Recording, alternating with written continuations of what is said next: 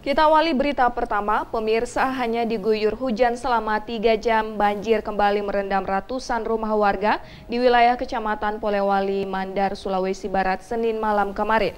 Ketinggian air bahkan mencapai 80 cm atau paha orang dewasa. Sejumlah perabot rumah tangga tak bisa diselamatkan lagi akibat banjir yang datang secara tiba-tiba.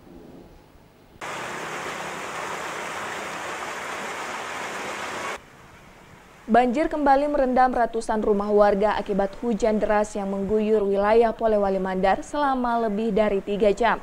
Salah satunya di Desa Patampanua Senin dini hari kemarin. Warga panik diterjang derasnya banjir yang datang secara tiba-tiba hingga ketinggian air mencapai paha orang dewasa.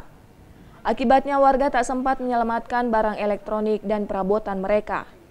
Selain itu, beberapa warga juga berusaha menyelamatkan kendaraan miliknya ke tempat yang lebih tinggi. Derasnya arus air yang masuk ke rumah membuat sebagian warga kewalahan dan hanya bisa pasrah. Menurut warga, saat hujan deras, wilayah ini memang sering terkena banjir. Namun, untuk kali ini merupakan yang terparah dalam lima tahun terakhir. Banjir ini lagi di sini. Oh, di sini, Pak? Setiap Hmm. banjir, Ya.